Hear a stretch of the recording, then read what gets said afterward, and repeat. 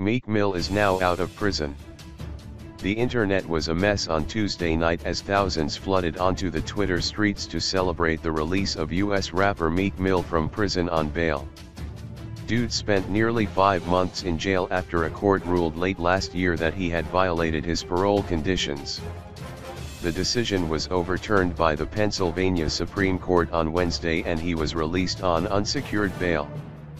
As the hashtags turned from hashtag free Meek Mill to hashtag freed Meek Mill, the dude addressed his masses. In a bunch of Twitter posts the rapper said he was happy to be out and planned to work closely with his legal team to overturn this unwarranted conviction and that he looked forward to being reunited with his family and career.